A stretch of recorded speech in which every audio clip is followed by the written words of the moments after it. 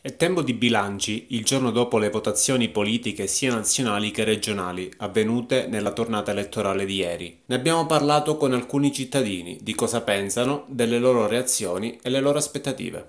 Beh, ci aspettiamo che mantengano intanto le, le, le, le promesse che hanno fatto.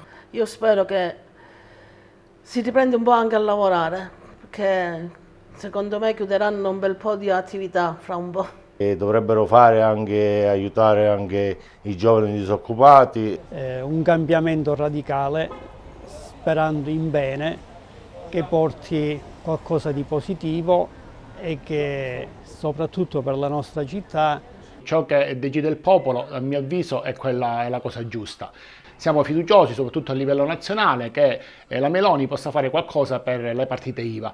In particolare nel programma diciamo, di governo mh, sono previste una serie di agevolazioni che potranno diciamo, dare un aiuto, un contributo alle nostre attività, soprattutto per quanto riguarda le assunzioni con degli sgravi o ancora una riduzione delle tasse. Quindi tutto sommato siamo fiduciosi e speranzosi che le cose possano migliorare.